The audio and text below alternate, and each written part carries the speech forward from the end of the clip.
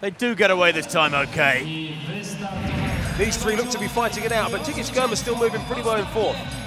Welteji, the winner of the Astana Mile, looking for another win at the World Athletics World Indoor Tour Gold level meetings.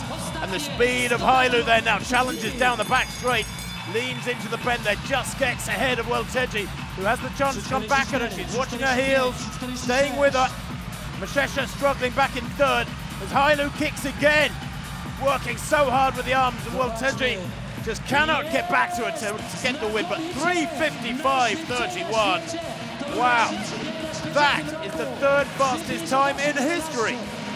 Record books being written, rewritten, I should say. Record lists on an almost uh, daily basis, never mind about weekly or monthly. That is super fast.